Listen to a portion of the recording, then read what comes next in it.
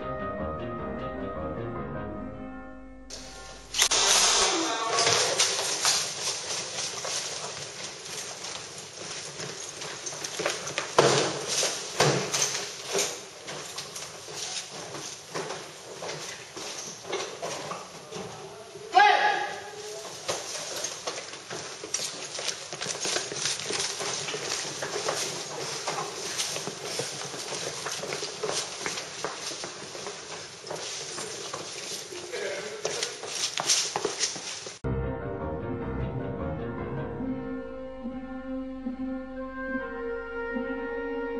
Jangan lupa klik ikon ini di mana